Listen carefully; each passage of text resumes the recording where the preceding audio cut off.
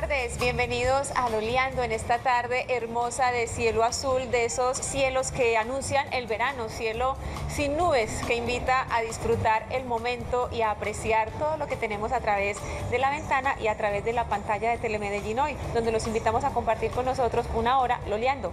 María, buenas tardes. Mi Bea, buenas tardes. Buenas tardes a nuestros televidentes. Este cielo nos llama también a la esperanza. Sí. Nos llama a la esperanza, al positivismo. Y hoy quiero hablar de, me voy a adelantar, vea, del todo porque me emocioné con esta tarde. Y quiero hablar del sol. Lindo. Hablo del sol, ¿por qué? Porque sirve impresionantemente para la vitamina D, para generar Sí. vitamina D, para hacer síntesis en serotonina, ¿qué significa? Para estar con bienestar. Eh, además, ¿cuánto hace que nosotros no salimos al sol y sentimos de verdad que nos pica, que nos molesta? Porque ese, ese malestar... Sí. Y hoy es una tarde para eso, para entender, valorar lo que hace mucho tiempo no veíamos, entonces qué tan importante es. Además de que nos sirve para todos los temas de salud, de ánimo, eh, el sol nos llena hoy, de, es un mensaje, yo creo que hasta me voy a volver sentimental, divino, donde nos Divino, está ajá. diciendo, ya entendamos que hay esperanza y que esto también pasará. El cielo nos abraza, nos El abraza. cielo nos abraza, qué bonito. con ese color azul y con esa calidez que nos otorga hoy el sol. A disfrutarlo, a apreciar estos pequeños detalles y a saberlos valorar. Esa es la invitación de hoy en Loleando y a que nos acompañen hoy a través del 268-6030 porque vamos a tener moda hecho en Medellín, moda local, un talento de la ciudad. Vamos a hablar de viajes y también sobre la decoración de la mesa, tan importante esa manera, María, de uno recrear sus espacios, de hacer agradable la mesa y de aprender a disfrutar esos minutos o esas horas en compañía de la familia a la hora de ir a la mesa. Además porque todo entra por los ojos. Además, Sí, entonces si uno ve todo organizado, bonito, inmediatamente Sí. se prepara para lo que viene. Vea, estas también de azulito. de azulito, Azulito. como el cielo, ¿cierto? Qué Hoy hermoso. estás de princesita. También diseño local de la querida Claudia Gómez de JIB que estuvo la semana pasada aquí en, la, en nuestro programa y ocurre que uno siempre se antoja y uno dice, ahí es hecho en Medellín, lo quiero, lo necesito. Entonces además Lo tiene tengo. esa posibilidad. Tu vestido también es talento local, hecho en Medellín. Hecho en Medellín mi vestido. Bueno, empecemos a hablar entonces de hecho en Empecemos. Medellín, María, de ese trabajo, de esos talentos que encontramos en nuestra ciudad todo el tiempo y que estamos compartiendo con ustedes a través de nuestras pantallas. Y por eso siempre insistimos tanto en que es hecho en Medellín, porque cuando una prenda es hecha en nuestra ciudad, se vende en una tienda, estamos hablando de una cantidad de personas que hay atrás que no las vemos cuando lucimos la pieza, pero que están trabajando en contabilidad, en corte, en confección, atendiendo en la tienda, además del diseñador. Todas esas personas hacen parte de una cadena y cuando nosotros compramos una de esas piezas, preguntamos, la encargamos, estamos ayudando a que esa cadenita siga funcionando. Y cuando sale el letrerito de hecho en Medellín nos da, ya, yo ya me adelanté, Aquí hecho está. en Medellín. La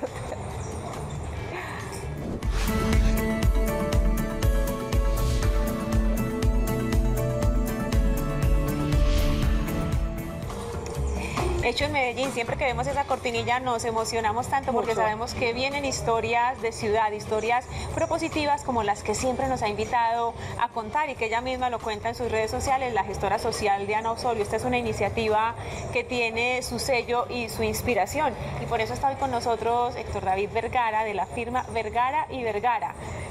Hernán, te cambié el nombre, ¿viste? Hernán David Vergara. El sí, así, ya, Es que hay otro diseñador que se llama Héctor David, que es Barajas, el de los anillos. Sí, señora. No, no se me va a olvidar, Hernán. Bienvenido, ¿cómo Bien. estás? Muy bien, muchas gracias. Encantados de tenerte aquí y de compartir estas historias que nos fascina hacer visibles y que la gente se contagie del espíritu de las marcas y de los diseñadores. Muchísimas gracias a ustedes por invitarnos y es una maravillosa labor la de visibilizar las marcas y todo el talento que tenemos en esta ciudad y en este país. Claro que sí. Hernán David, Vergara y Vergara, ¿cuántos años de historia? Una tienda en el centro de la ciudad, en un sector eh, fantástico y vamos a ver ahora también a la modelo luciendo las piezas de Vergara y Vergara.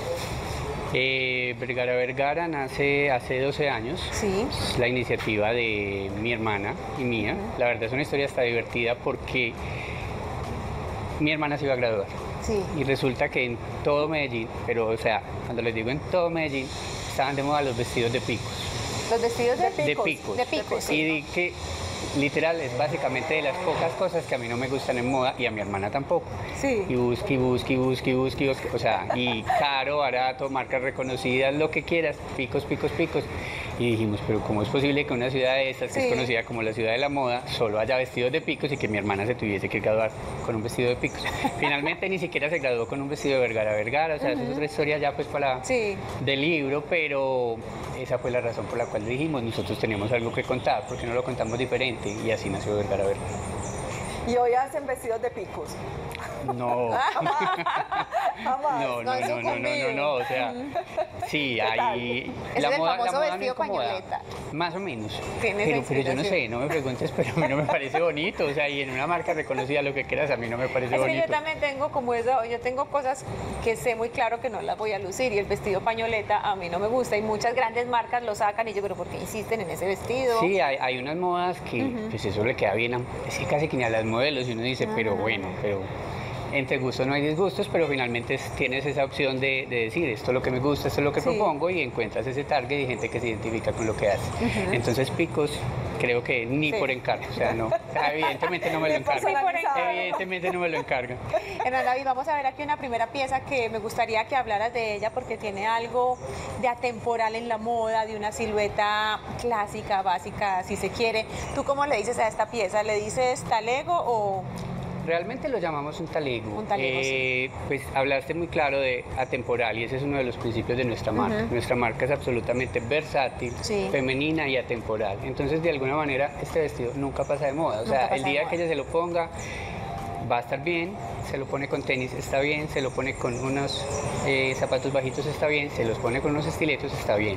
Y justo en particular esta colección, pensando en los tiempos que estamos pasando, en el trabajo en casa, en la comodidad, dijimos, o sea, tú puedes estar en tu casa, no necesariamente en pijama, pero puedes estar linda, puedes estar cómoda, cómoda y, luciendo bien. Esa fue como la idea de la propuesta. Y el color son los colores que están llamando ahora, que, que, son, que son colores, vea, ¿cuál es la palabra? Este es un color tierra, este es un ladrillo, ¿tú cómo le dices? La verdad pero es tierra. está relacionado con lo botánico, ¿no? Este tiene como esa línea porque está inspirado en la tierra, pero son más como los colores terrosos o atardeceres. Es como esa cuando se va difuminando un atardecer. Exactamente, toda la paleta que elegimos fue, fue tonos tierra porque de alguna manera también mira que eh, lo que nos ha pasado, la pandemia y tantas situaciones nos ha llevado como a, bueno, cómo nos calmamos, cómo, cómo, cómo aterrizamos, cómo estamos más tranquilos y cómodos con nosotros y obviamente tenía que estar incluido en la propuesta. Ustedes hablan de, un elemento que ustedes siempre tienen muy presente para poner las prendas al alcance de muchísimas personas y es la relación precio-producto. Nosotros los paisas somos muy paisas y siempre decimos cuánto vale. Y lo vemos ese ejercicio en redes sociales, pasa mucho. Casi que la persona ni pregunta está en mi talla o qué otro color tiene, sino que de inmediato dice precio, por favor. ¿Cómo es ese ejercicio, Hernán David, en Vergara Vergara? Ve, la verdad, tratamos de tener la relación más justa entre un buen producto y un buen precio. Entonces, pues Vergara Vergara, de hecho, y las clientes me lo decían, no me parece barato, no me parece costoso, pero es un precio justo porque sabes que llevas un producto aparte, de hecho son muy exclusivos, nuestra línea es súper exclusiva, no reprogramamos, entonces eso los hace ah. básicamente únicos y mis clientes me decían, tengo la posibilidad de no encontrarme básicamente nunca, o sea, es que, es que coincidas con mi vestido, ¿qué pasa en las marcas masivas? Y es súper difícil. te ha pasado? Y... Ah, sí, tengo uno que lo tenemos todas en Medellín. Uno de una marca masiva, negro de flores estampadas y hoy todavía lo veo yo. Ese es mi vestido. Y, en Vergara Vergara dijimos, no, realmente lo podemos hacer, puede ser rentable con unas unidades, un número justo y al precio adecuado. De manera que sepas que llevas un producto bien hecho, bien elaborado, casi único y al precio justo. Claro tenemos eh, número del celular hoy. No ah, bueno, yo me adelanté, ¿cierto? Sí. Y ya te lo sabes. Tú dijiste ayer que te lo sabías. Pero ya, yo eso fue ayer. 300 742 92 56. Bueno, para que nos llamen, nos pregunten. Upa, pues, para que conversemos, para que miremos los vestidos de Vergara Vergara, que quieren saber sobre la marca, que quieren saber de estos diseños, cuál mamá se va a antojar. Yo tengo uno de ellos y me encanta, se ve absolutamente precioso. 300 742 9256. Hernán David, eh, ¿cómo nace esta propuesta? Hablemos primero de la propuesta y luego nos llevas al taller. Nos contás historias del taller y cómo ¿La propuesta de la marca o de la colección? ¿Ah? ¿La propuesta de la marca o de la colección? De la colección, que estamos viendo. Eh, bueno, como te dije, nos pusimos a pensar, eh, realmente nuestra línea era un poco ejecutiva, la gente siempre sentía como es muy elegante, y porque vestíamos a mujeres que necesitaban ir a su oficina, verse muy bien, y obvio ya no estamos yendo a las oficinas. Eh, entonces dijimos, bueno, logremos que sea, que tenga la esencia, porque en un momento de verdad la pandemia nos puso en ese, en ese parangón, hacemos pijamas y es posible, y hay pijamas hermosas y, y efectivamente Vergara Vergara las puede tener pero dijimos, pero ¿por qué no hacemos una propuesta que de verdad sea cómoda, que a la gente le quede bien, que, que en efecto el día que decidas volver a la oficina lo puedas hacer? Simplemente te pones unos taconcitos y punto. Yo vuelvo con este a la oficina encantada. pero pero ese vestido, de hecho, lo hicimos y con tenis se ve bellísimo. Se inventó la ida a la finca, a, la, inventó ida a finca y a, oficina. Y cuando puedas ir a bailar, te pones unos super taconazos y ahí está. ese fue, ese fue realmente precioso. Y este es un color también en esa misma línea, ya más caramelo. Entonces este, este, lo hicimos en este tono que es básicamente cobre, lo llamamos así, y le hicimos un tono nude. E hicimos, de hecho, en el montaje con las modelos, escogimos una mujer de fenotipo moreno y ella que es una mujer blanca y generamos un contraste bellísimo y toda la línea salió así. Entonces el otro color es nude y a una morena se le ve bellísimo. Divino. Súper bonito. Sabes que me resultaba muy atractivo, eh, las líneas son sueltas, entonces suele suceder a veces en la moda que resulta muy exigente una pieza eh, para el cuerpo de la mujer, entonces terminamos culpándonos de, ay, es que tengo que bajar para que esa silueta me pueda quedar linda, o tengo que tener determinadas curvas para, digamos, ser merecedora de esa marca. Yo creo que eso nos pone a las mujeres en una dicotomía muy compleja y yo aquí encuentro ese vestido que que cae sobre el cuerpo, que no le exige al cuerpo más, sino disfrutar la prenda. Si viste la, prenda anterior también era completamente recta y era porque le daba la posibilidad a cualquier mujer que se meta ahí. Y justo desde siempre lo hemos pensado porque la moda de alguna manera a veces genera ese estrés en las mujeres. Es que yo quiero ser como esa modelo y las modelos son modelos. Realmente mujeres así hay muy pocas. Las mujeres normales y colombianas y latinas son curvas, curvilíneas y eso es hermoso y eso hay que saberlo vestir. Y lo que nosotros hemos dicho es ¿por qué no hacemos que esa mujer, que cualquier mujer se pueda hacer bella? Y de hecho es, es como, digamos, un esfuerzo extra y nosotros somos preocupados por, bueno, la, mujer tiene el gordito acá y no, no, no se lo puede quitar. Entonces, desde, voy a presentar todo el Desde, el diseño que hacemos, entonces nosotros somos como, ve, cuidemos este gordito acá. Si, si es una sisa, ¿cómo hacemos que el hombro se vea adecuado? ¿Cómo levantamos el cuello para que se le alargue el cuello? Siempre, siempre pensamos como en solucionar y en efecto ver, hacer que cualquier mujer sea linda y, se sienta linda como es.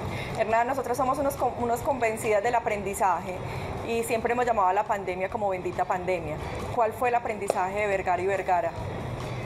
Pues fue, nos impulsó a hacer cosas que, que a veces estás por hacer, estás por hacer, como, como la página web. Realmente el comercio electrónico para, para este país no había llegado y sobre todo para marcas de moda, sobre todo para vestuario. Y de alguna manera veníamos, eh, hay que hacerla, estamos en la página, no sé qué, y, había que hacerlo y era adaptarse a, lo que nos está presentando el mundo y no decir me pongo a llorar, pues no, sino hagámoslo. Y, ese ha sido un reto y creo que fue como la mayor bendición porque en efecto hicimos una página muy bonita, ya está funcionando, ha sido todo un trabajo y es una, tienda abierta al mundo que además posibilita otras otras miradas que antes solo teníamos en un lugar físico que se limitaba a la gente que pasaba por allí. Nos confirma que es bendita pandemia. Bendita pandemia. Es verdad, es verdad. Hay muchas cosas positivas de ahí y, y, por más duro que sea, siempre, siempre tienes que sacar algo bueno para eso, para la vida, para el trabajo y creo que es lo que nos toca hacer. Hernán David, ustedes yo me los imagino que son muy exigentes en el taller porque cuando uno mira la prenda no le sobra una hebra, no hay una costurita pues como que se salga de la línea, es impecable el trabajo por dentro de la prenda y por fuera, son muy exigentes en ese tema. Pues muchas gracias por el término, pero, pero sí, cuando empezamos, que empezamos con unos talleres satélites, hubo un momento donde nos daba, o sea, nos sentíamos un poco mal porque las confeccionistas nos decían, que no, o sea, yo no quiero trabajar porque éramos como demasiado exigentes pero, pero fue como en un momento que tú dices, bueno, ¿yo qué hago bien? Y resulta, eh, no, no es gratuito. Mi mamá siempre trabajó en el sector de las confecciones, entonces casi que nací en máquinas, sí. aunque estudié otras cosas. Y, el ojo súper entrenado, entonces. Pero entonces, es decir, yo decía, es que esto se puede hacer bien hecho, yo sé hacer una prenda, hoy en día no la hago, pero aprendí el primer proceso, o sea, las primeras prendas, las primeras cinco colecciones me senté todo, absolutamente todo. Entonces yo decía, si yo lo puedo hacer una confeccionista, ¿cómo no me lo va a hacer? Y es lo mínimo que yo le ofrezco a mi cliente. Sepa, o sea, de hecho a mí me dicen, dice, pero es que tus prendas no se acaban, o sea, eso qué pereza ya, yo ya no me quiero poner más eso, y, es una maravilla.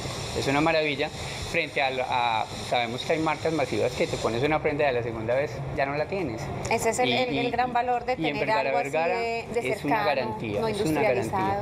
Sí, es una garantía. Hablemos de esta pieza que tenemos aquí, que además tiene, bolsillo. Nosotros somos fan del bolsillo. no, obviamente la otra vez, o sea, de hecho hay un estudio, el vestido es una forma de liberación para las mujeres y a veces además es un método de sentirte segura, yo qué hago en una reunión, yo qué hago, dónde me meto las manos, te, te empodera. El bolsillo, una cosa tan sencilla empodera.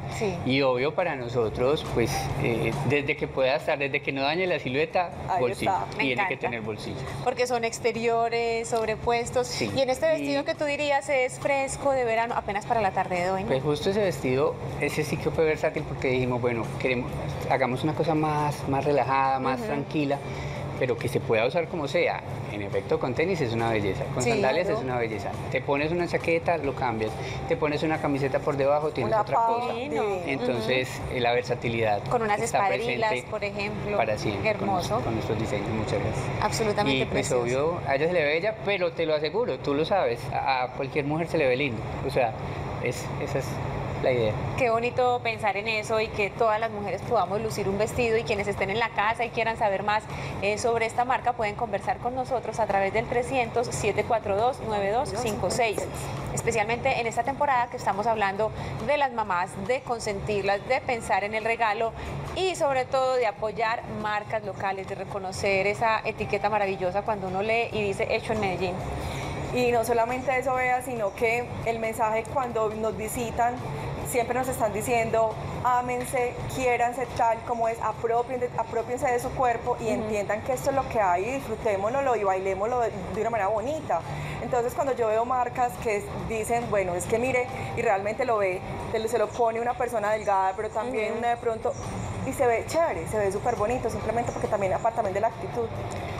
Sí, yo creo que ese es un buen reto para las marcas y en realidad es pensar también en el cliente. Hay algo que se piensa porque las marcas nos muestran como ese mundo ideal y en efecto modelos, mujeres hermosísimas hay, pero no es el, común y lo que les dije ahorita, a veces se le generaba esa frustración a una cliente porque es que yo quiero ser como esa, pero es que usted mide unos 50 y es gordita, pero no por eso no se puede ver bonita. O sea, realmente se encuentre, encuentre eh, la marca que esté a su cuerpo, en su estilo y, siéntete cómodo, que para mí ese es el principal consejo. Estás cómoda y estás bella. Ese para mí es. Esa es una, una gran palabra y una gran respuesta. En pantalla han estado apareciendo los números telefónicos y las redes sociales de Vergara Vergara, porque yo estoy segura de que se van a antojar o van a pasar, ¿qué es ese vestido tan lindo? Yo quiero saber más de esa marca o quiero saber dónde lo puedo conseguir. Hernán David, ¿cómo ha sido el proceso con la tienda en estos tiempos de pandemia, en estos tiempos de, de cierres acordeón que ya terminan esta semana? Entonces, ¿cómo se ha pues, comportado la tienda? Eh, no, te cuento, la tienda que teníamos una única en el centro, sí nos tocó cerrarla. Eh, porque de alguna manera nuestro público era todo el sector financiero, éramos únicos en ese lugar. En el centro era como, por esta tienda que está haciendo acá. Y la gente decía, ¿usted qué hace acá? Y en efecto fuimos esa solución para la gente que estaba ahí. Pero pues por tema de pandemia, esas chicas se fueron a trabajar a sus hogares. Entonces de alguna manera sostener un espacio que ya la gente no puede ir porque necesita estar en su casa, dijimos, no, pues temporalmente se cierra y nos centramos en el tema de, ventas por internet y, está funcionando y obvio, pues las que ya nos conocían nos buscan donde sea y estamos es, atrapando a, todo el mundo que nos abre las puertas esa posibilidad de, las ventas en Internet. Y yo creo que sí debes de extrañar el contacto, hablar, el, eso, pues, esa zona tan llena de cultura y de vida urbana. Absolutamente, absolutamente. Es, es, un lugar especial y a mí en particular siempre que podía atender, porque lo hago, porque asesoro, porque es parte de mí y de mi marca, eh, lo hacía. Entonces eso, eso, pero estamos inclusive ya desde las redes, bueno, yo como te asesoro, entonces tenemos una línea WhatsApp donde mm. lo que necesites, qué color me queda, qué talla, cómo me funciona, es eso mismo a través de un teléfono. Bueno, y si hablamos de comodidad y de conceptos que tienen que ver con nuestro ser femenino hoy, este, este atuendo está perfecto con una inspiración deportiva y ese calzado de aire masculino. Completamente. Nos gusta mucho lo masculino. Y volvemos a la comodidad, entonces las posibilidades de, cómo combinas eso. Obvio está con los zapatos bajitos, pero ponerle lo que quieras desde el pantalón. Los botines, el estileto. Exacto. Mira la bota al final, Y como puedes ver también los detalles, para nosotros son, parecen que no están, pero todos están. Mira el buzo, el trabajo que tiene. El lateral. Que tiene un lateral y justo siempre pensamos en eso. Bueno, desde una prenda básica, ¿qué le hacemos que se vea diferente? Y es como Yo quiero ver la parte de la pretina, ¿cómo es? Es, eh, sube. Es, ah, elástico. Es, del elástico, lo que hablamos de la comodidad que es esa, inspiración del mundo deportivo, es decir, viene, se toman elementos de, la sudadera o del pantalón tipo jogger, pero se transforman, mira, con la, franja lateral en contraste de textura, el material. Vea, hay que saber, yo que creo que cuando es de esa manera se adapta fácilmente al cuerpo. A cualquier cuerpo. Hernán David, eh, la, pieza está elaborada, la pieza superior de ella está elaborada en la misma tela del vestido del maniquí. Sí que es otra interpretación. Y el contraste lo generamos con el revés de la tela. Y ya le ah, pusimos. Maravilla. Entonces, o sea, mira, un elemento tan sencillo, pero todo lo que hace por una prenda. Todo lo que aporta. Sí. yo veo ese vestido y pienso en lo más básico y atemporal que una mujer pueda tener y pienso en Jackie Onassis tiene un aire muy Jackie Kennedy o Jackie Onassis. Pues sabes que tenemos cierto aire retro. Nos encantan ese tipo de mujeres. O sea, yo me muero por Audrey Hepburn, por, Jackie Onassis. Entonces siempre, siempre tenemos un referente digamos que es una mirada externa, pero que eso es internacional, o sea, en cualquier parte lo usas y te ves bien y nos encantan. Ese tipo de mujeres me encantan y lo hemos reflejado. Es recuperar esas líneas y esos, y esos personajes que hacen parte de la historia de la moda y recoger lo que ellos han.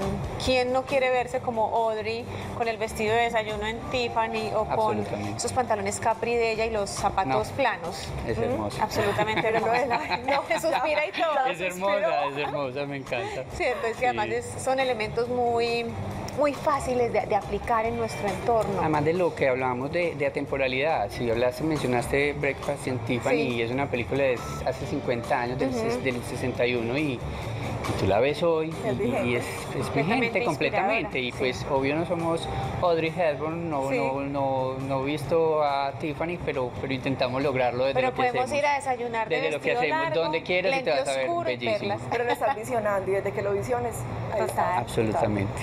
Hernán David, para finalizar... Mm, ¿Qué has aprendido tú de esas mujeres que estás asesorando, asesorando a través de la línea de WhatsApp? Que cambió ese, ese momento del encuentro en la tienda allá la relación a través del teléfono? ¿Qué he aprendido? Eh, bueno, pues todavía hay, timidez en, respecto al tema, pero, pero en efecto la gente siempre quiere ser asesorada. La gente quiere que se te diga que te queda bien, que no te vendan por venderte. Ese, por ejemplo, fue uno, otro de los motivos cuando decidimos hacer la marca. Nos pasó con mi mamá y me acuerdo que una vez le dijeron, le queda súper lindo. Y yo veía que le quedaba horrible y yo dije, no, yo nunca quiero. O sea, eso, en mi tienda no puede pasar. Y, todos necesitamos vender.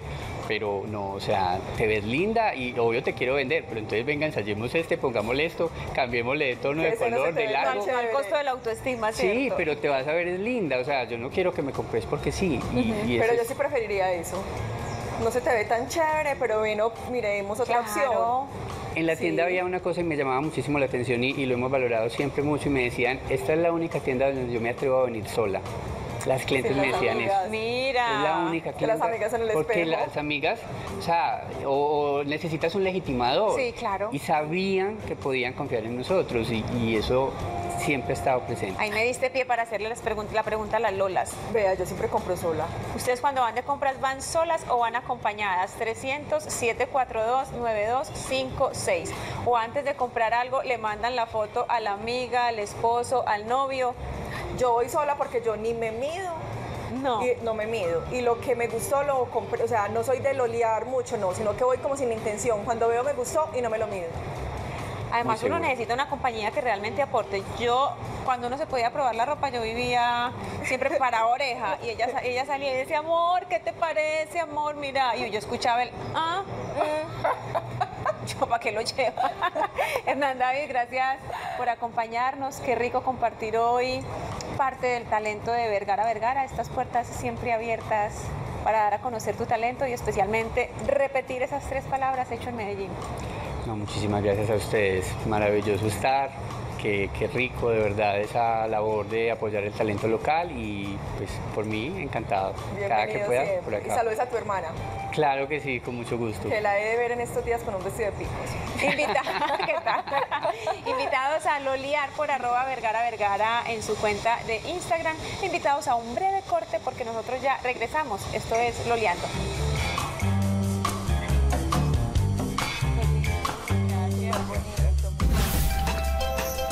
Estás viendo Loliando.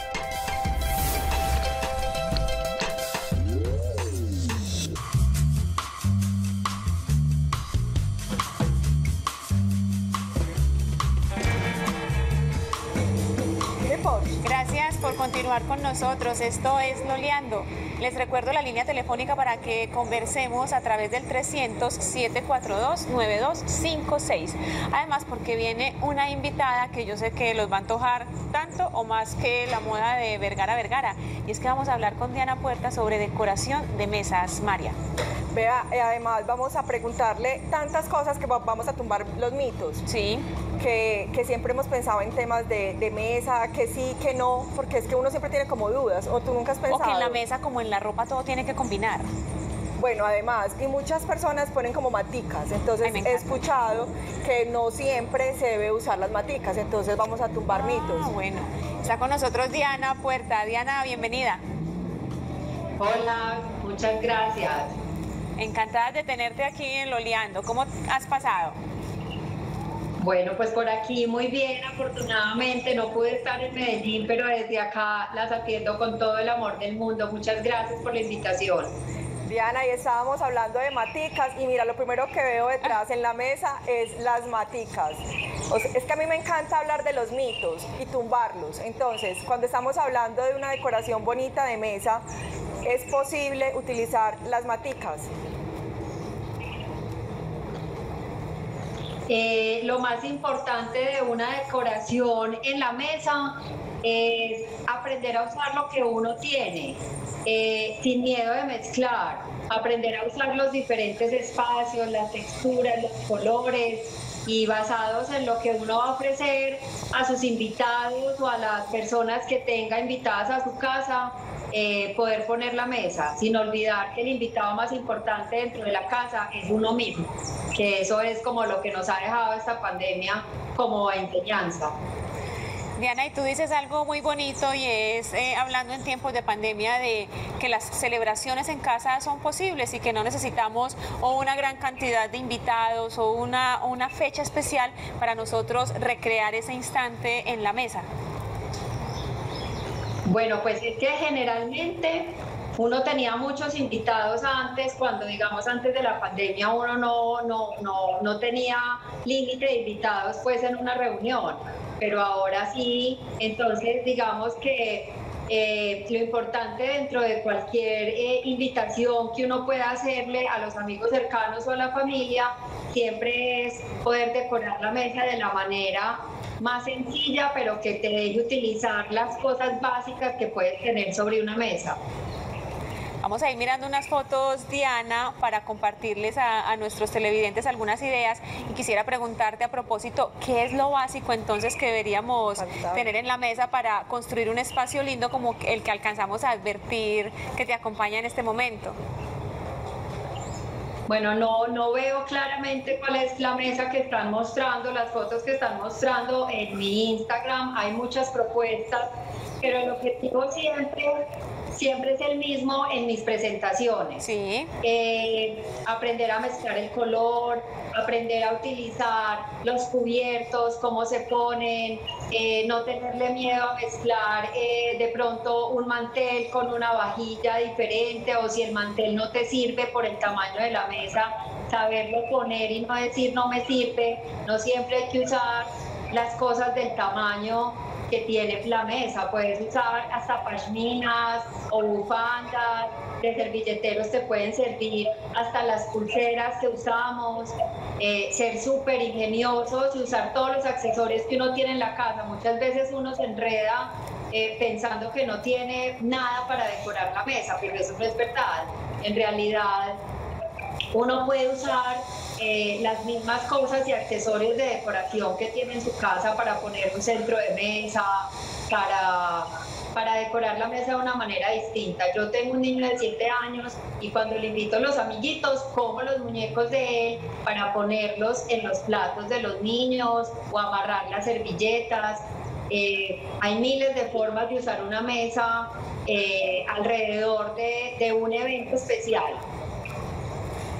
Vea, yo pienso que nuestras televidentes deben estar en este momento ya listas a llamarnos porque... buscando cosas en la casa. Y buscando cosas en la casa porque es de esos temas que uno dice qué delicia aprender. Sí.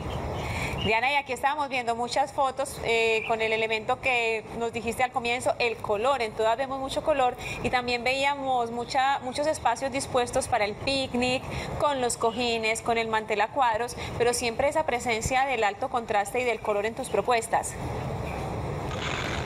Bueno, mira, eh, a veces uno cuando está decorando la casa no tiene siempre que buscar cosas que todo salga con todo. O sea, hoy en día, digamos que mezclar está de moda y, y, es como cuando uno viste la mesa, es como cuando uno se viste.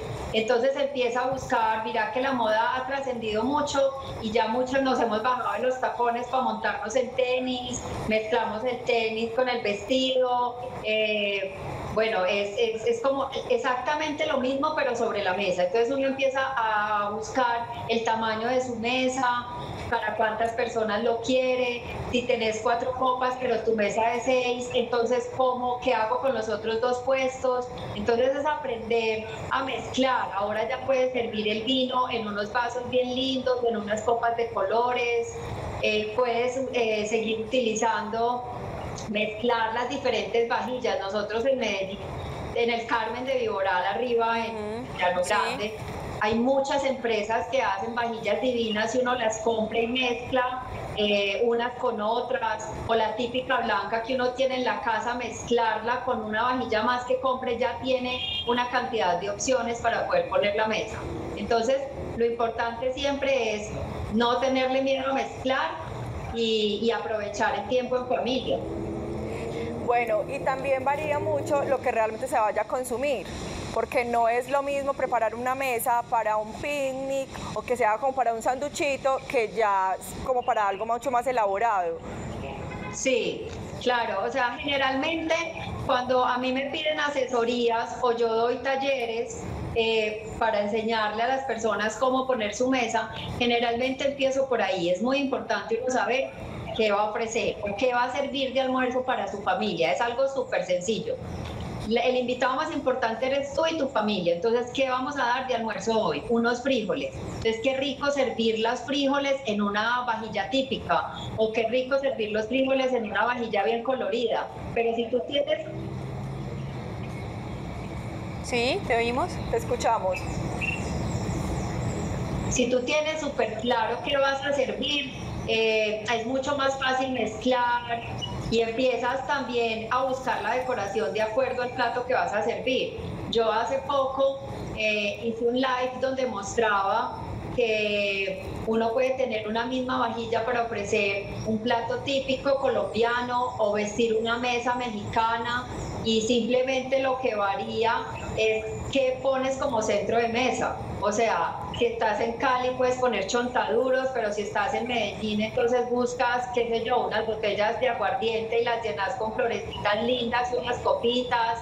Eh, pero para la mexicana entonces ya pones un poquito más de color y, buscas unos pimientos eh, o, algo bien bonito que se semeje a la cultura mexicana. Entonces lo importante siempre es saber amarrar la comida a la decoración de la mesa.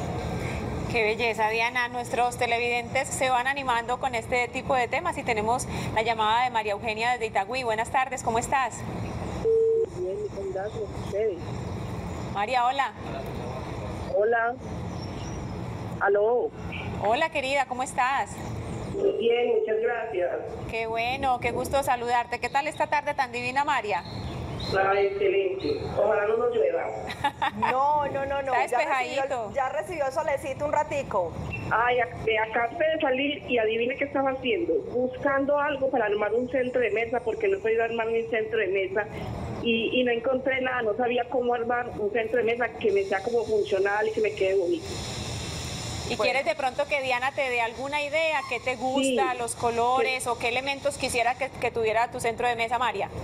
Y el, el- no sé, o sea, mi mesa es, tiene como es un cuadro en madera, en cedro, y, y pero la mesa en sí es toda de vidrio y, y el bordo es en madera en cedro, las patas son de cedro y el tono de la casa en madera es todo así como en cedro, entonces quiero como un centro de mesa que, no sé, que me quede bonito, que no sé. Diana, ¿qué idea le damos a María Eugenia? Bueno, María, hola. Claro, con mucho gusto te ayudo. Mira, eh, los centros de mesa no siempre tienen que salir con algo específico de tu mesa, de tu decoración. Te voy a dar un ejemplo. Este centro de mesa que yo tengo aquí atrás es una, una ensaladera que compré en Carmen de Viboral. Es blanca con azul y simplemente un día dije quiero sembrar eh, las flores preferidas mías para tenerlas como centro de mesa en mi mesa de comedor. Otras veces he usado las teteras, muchas veces compramos teteras y las tenemos o chocolateras que son divinas y no las, y no las usamos sino para eso. ¿Qué tal si un día llegamos y sembramos o ponemos unas flores lindas ahí en- para recibir a nuestros invitados eh, en un almuerzo campestre o en un almuerzo en la casa? Muchas veces también tenemos los vasos o los, o los frascos que desechamos constantemente porque compramos mermelada o salsa de tomate o lo que sea que venga pues como en estos en estas ah, ah, las vasos o, o- o botellas uno también los puede usar le puedes poner agua con anilina ponerle unas maticas o sea el centro de mesa no siempre tiene que ver con algo que haya que comprar podemos usar muchas cosas de las que tenemos en nuestra casa Creatividad. Sí, Diana, ¿sabes yo que compré en estos días que me resultó muy barato y he jugado mucho con ella? Una batea de madera, la compré en una plaza de mercado. Ay, divina. Y a veces Divina. le pongo frutas. veces les escucho como un poquito mal, pero yo me concentro y alcanzo a escuchar algo.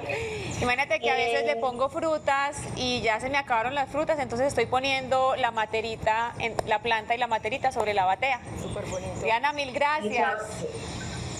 Qué rico que nos, que nos acompañes y nos des estas ideas. Y María Eugenia, yo creo que ya le quedó resuelta la duda. Te mandamos un abrazo. Un abrazo para las dos. Bueno, qué chévere, María. Chao. Chao, mil gracias. Chao. Chao, Diana, mil gracias.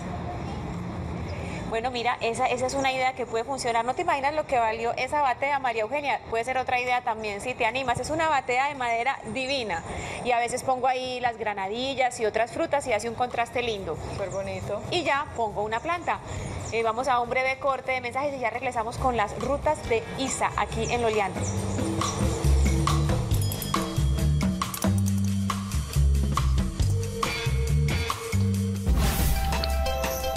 Estás viendo Loleando.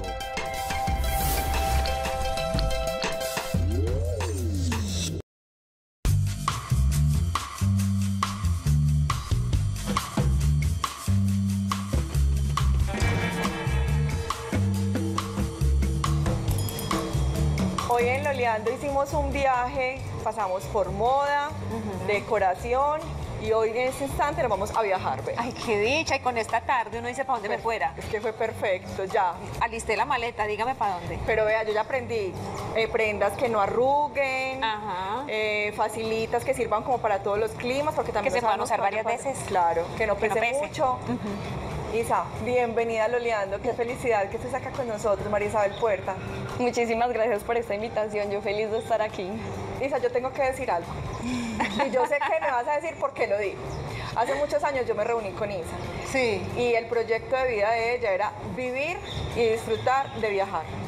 Y lo estás haciendo. Y yo hoy la veo, que los ojos le alumbran y le brillan y le, digo, Isa, lo lograste, persististe. Y en esta juventud, como que hace muchos años le dije. Sí, cierto que sí, Isa, más por ahí. A los dos años, pues. Hace cuatro años, cuatro años o cinco años, ella decía, yo quiero vivir de viajar y quiero vivir viajando y, y mira, lo logró. María Isabel Puerta, más conocida como arroba las rutas de Isa, o sea que ese sueño se está cumpliendo, no es cumplido, se está cumpliendo porque sigámoslo proyectando en presente. Sí, exacto, porque igual es un proceso y sigue pues como el camino, pero pues ya logré como el objetivo donde quería llegar y pues en estos momentos lo puedo decir como vivo de mi pasión que es los viajes. ¿Qué es esa dicha y eso cómo se logra? Cuéntame cómo lo proyectaste y cómo se desarrolla ese proyecto. Existió un momento inicializa que fue el viaje que hiciste sola por allá lejos. ¿Cierto que sí? Yo creo que ese no fue el principio. Mm, yo hice, pues he hecho varios viajes a lo largo de, mi vida, como por, por, estudios, me fui a estudiar inglés, entonces ese viaje me gustó demasiado, pero pues no fue, estuve en Inglaterra seis meses. Entonces fue un viaje espectacular, pero no fue el punto en el que yo dije como ya quiero vivir de los viajes, no, sino que fue una experiencia linda. Años después, cuando terminé la universidad, fui a hacer un voluntariado en Italia. ¿Cómo que cuando terminé la universidad? ¿Ya terminó la universidad? ¿Dónde? Que hace mucho. Ahora nos da el secreto, Isa, continúa, estamos en Italia. Hace un buen ratico. Y eh, ese viaje me terminó llevando a, recorrer muchísimos países de Asia eh, durante tres meses de forma inesperada porque no estaba en mis planes y cuando regresé a Colombia dije como, bueno, y ahora después de este viaje, ¿qué voy a hacer? O sea, ¿qué voy a hacer si yo descubrí que lo que quiero es viajar? Pero ¿cómo así no para vivir de los viajes? O sea, qué rico, pero ¿cómo? Entonces ahí entré como en, en, esa fase de empezar a descubrir qué era lo que quería hacer con mi vida, cómo lo iba a hacer y a probar, porque esto es como prueba y error, porque no existe como ese paso a paso de haz esto, luego esto y vas esto a es lo que va a ser exitoso, esto va a dar resultado. Exacto, o sea, es eso, es como prueba y error y ir encontrando como tu propia voz interior de lo que a ti te apasiona, de lo que a ti te gusta, hasta encontrar como ese camino, porque hay muchas formas de poder dedicarte a vivir viajando, no tiene que ser necesariamente como yo lo hago, que es por medio de redes sociales. Puede ser por medio de tu profesión, si eres diseñador, eh, si eres escritor, no sé, dependiendo de la profesión que tengas, puedes hacerlo y alternarlo con los viajes. La manera que yo encontré fue como pudiendo compartir mi pasión por medio de redes sociales con todas las personas que me siguen. Esa palabra es clave, Isa, sin duda alguna, la pasión, que uno haga lo que le apasione. Tenemos una televidente muy, muy especial y nos encanta que nos llame. Es una mini Lola, Sara Valentina desde Buga. Qué dicha que nos llames. ¿Cómo estás? Sara. Sarita, hola. ¿Aló? Hola. ¿Cómo, estás? Sarita, hola, te estamos escuchando. ¿Cómo estás? Bien, gracias. Llamaba para saludar. Qué bueno, Sara. ¿Y cómo está el clima en Buga? Eh, aquí un poco de calor y aquí, bueno, también hace frío. Ah, qué bueno. Isa, ¿tú conoces Buga? No. Ah, bueno, Sara, imagínate, para que invitemos, para que invitemos a Isa a Buga. Eh, ¿Sí? ¿Sí?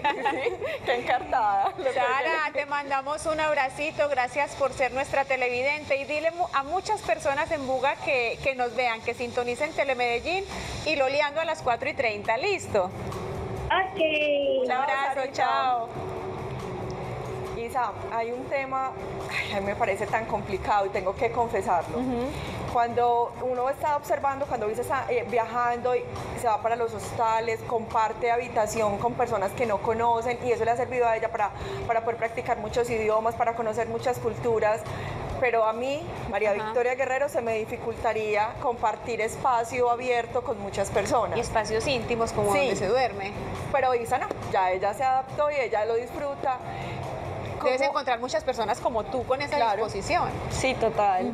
Eh, incluso para mí, eh, pues yo cuando viajo me gusta más como quedarme más en hostales que en hotel y más cuando viajo sola, sí. porque es la manera más fácil de poder conocer otros viajeros. En cambio, si tú te quedas en un hotel, pues estás todo el tiempo en tu habitación sola, como que no hay un espacios sociales como los que tienen los hostales para que los viajeros se encuentren, puedan conversar, salir a hacer planes. Entonces es muchísimo mejor. Igual yo digo que eso es de probar, porque uno puede decir que no le gusta o que de pronto no es para uno, pero es como de intentar vivir la experiencia y ver si le gusta o no. Puede que cuando lo hagas diga como, wow, ¿de qué me estaba perdiendo? Isa, tenemos que hablar de viajes wow. Eso, es, es destino wow. El super wow, el viaje super wow. Mientras vamos viendo imágenes para que nos cuentes cuáles han sido esos destinos wow. Un destino wow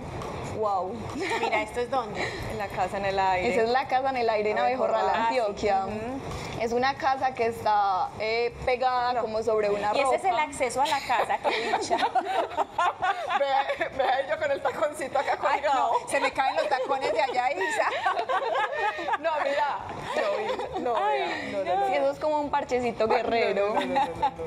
Muy guerrero. Hay que cruzar como un puente colgante para entrar a la casa. Qué chévere. Pero es como desafiar esos miedos. Por ejemplo, uno de mis mayores miedos es la altura. Y dije como, esa casa todo es altura, pero pues vamos y hago lo que sea capaz de hacer. O sea, el caso es como probar, intentar. Claro. Isa, y en este caso también eres exigente en el tema de, de, lograr la foto, la imagen, el video. ¿Eso requiere planeación o se va descubriendo cuando llegas al destino? Se va descubriendo cuando se llega al destino. O sea, si estoy viajando sola, le pido a alguna persona que me colabore, que me tome la foto, le pongo la cámara como en el ángulo. Y si no queda bien, entonces espero a que pase la próxima víctima que me ayude con la foto. Pero sin foto no te venís. Vamos a seguir intentando. Era así el lugar que tú digas que es increíble y todo el mundo debería de ir. ¿Cuál? Para ti. En Colombia, La Guajira. Me parece un lugar increíble, un destino mágico, maravilloso, no solo por los paisajes que tiene, que de por sí ya son de verdad brutales, sino por porque a pesar de ser Colombia, tiene una cultura que es la Wayuu, que es muy diferente a la nuestra, de la cual podemos aprender mucho y que es un mundo totalmente diferente como a lo que nosotros vivimos habitualmente. Entonces me parece que vale mucho la pena conocerlo. En Barcelona. Allí viví durante un año y medio porque estuve haciendo una maestría en marketing digital. Sí.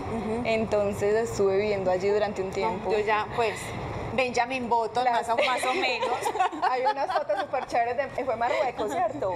en donde eh, sí, sí, en Marruecos. Esa fue también súper chévere. Sí, en Turquía. La de Marruecos con todo ese montón de como de vajillas, a Bea le encantaría.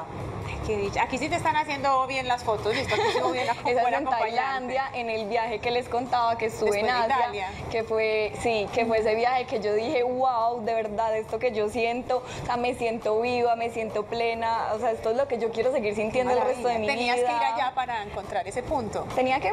Que llegar allá a ese viaje para descubrir Sí, total, o sea, ese fue como el punto de quiebre que yo dije, esto es lo que quiero, no sé cómo, pero yo sé que algún día llegaré a ese sueño que quiero. Vea, mira, ah, no viste esa foto, nos demoraríamos tiempo para lograrla nosotros. no, nada, se veía el cielo súper bonito por allá como el caminito, pues, para nosotras. ¿Esta, esta es donde? Esa que acabamos de ver con las frutas. La de las frutas. Ese es en, cerca de Santa Marta, como en la carretera. Sí. Que paramos, vimos esas frutas y dijimos divinas, una foto. y esas recomendaciones para viajeros, eh, seguramente ya vienen las vacaciones, se van a ir reactivando los viajes con más posibilidades de viajar, pues habida cuenta de las vacunas, hay países que ya han avanzado muchísimo en el proceso de vacunas y de reactivación económica, consejos para viajar. Bueno, yo les daría varios. Uno, que eh, exploren mucho como el departamento en el que viven, porque todos los departamentos de Colombia tienen un montón de lugares increíbles por explorar, en especial en la parte como de naturaleza. Sí. Entonces, como poder explorarlos, apostarle como mucho eh, al turismo comunitario, al turismo local, como ir, ver al artesano, cómo fabrica sus cosas y comprárselo directamente a él. Consumir en el restaurante local. Consumir en el restaurante local, exacto. No solo como ir a las vacaciones del hotel todo incluido, que también está chévere, sino como salirse un poquito como de eso y poder como consumir eh, más local que el dinero le llegue como realmente a las personas como que viven allí en los lugares. Maravilloso. ¿Y cómo viajas? ¿Liviana de equipaje? ¿Aprendiste a llevar lo justo, lo preciso? Sí, yo siempre viajo con una mochila, siempre. No importa si es eh, un viaje de frío, de calor, si es de un día, lleno igual la maleta si es un día, o si es de dos semanas, es la misma maleta siempre. O sea, es una mochila en realidad porque es fácil, práctico, en el aeropuerto simplemente pues la pones en el avión, es ligero, entonces es muy fácil así, ya es práctica. para de viajar Pero para uno descargar esa maleta de tantas cosas se requiere tiempo, se o sea, esto es un proceso, Isa para uno decir que hoy lleva una maleta ligera en equipaje acosado. Lo que pasa es que uno siempre empaca muchos por si acaso, entonces es dejar esos por si acaso, no empacar nunca el por si acaso. tus por si acaso. Yo siempre digo, yo no llevo por si acaso. Ah, yo llevo, por ejemplo, yo tengo un tip y es no llevar por si acaso, llevar sachets entonces llevar el sobrecito de, de shampoo dos en uno, porque a veces no está el shampoo que a uno le gusta. Y no llevar secador de pelo. Eso pesa mucho y eso Yo no siempre llevo secador de pelo. Siempre llevas. Nunca me falta. Ah, ah, ¿y por qué? Y siempre me cabe, siempre. Ah. Pero es ¿Y el lo chiquito, usas? sí, ¿Y tú dependiendo de dónde, pues Sí. dependiendo de- del viaje. Pero es de esos chiquitos Siempre que se bella. dobla y no ocupa espacio, pero mi secador no falta. Pelo salvaje, Isa. No, ya vi que no.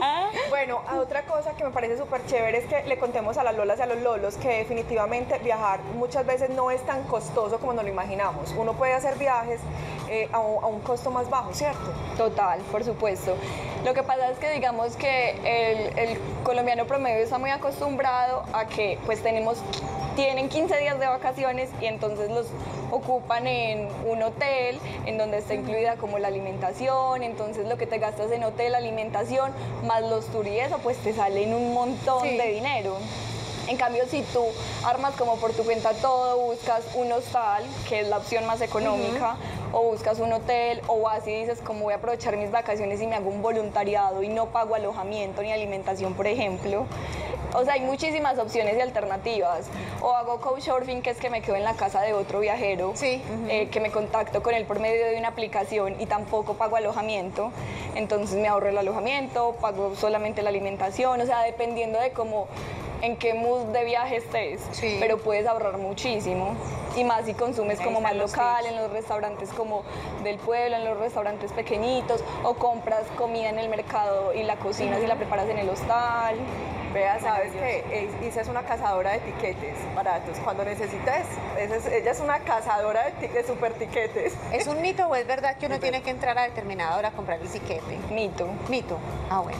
Dicen que en la, madrugada, uno sin ver La el computador.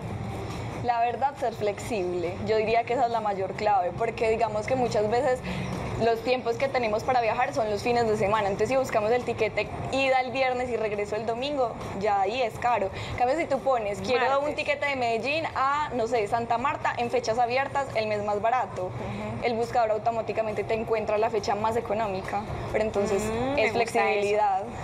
Eh, Isa, y para terminar, no me puedo quedar con esta pregunta. ¿Traes souvenirs de los viajes? No, No. no, Ni el imán. no. No.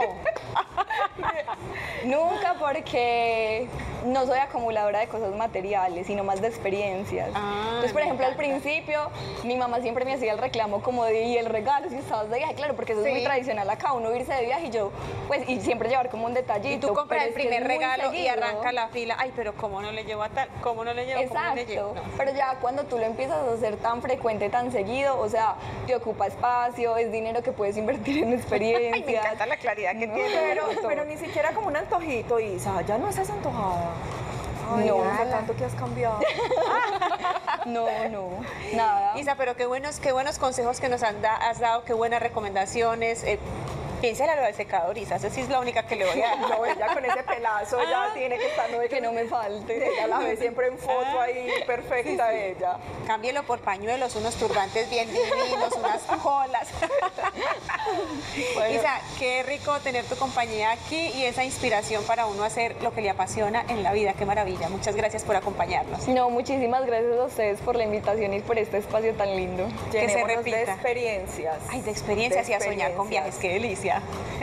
Gracias por acompañarnos, los esperamos mañana a las 4.30 aquí en Loleando. Y en A Mover los Huesitos, preparen las pesas o botellitas de agua porque van a trabajar hoy la fuerza. Hasta pronto.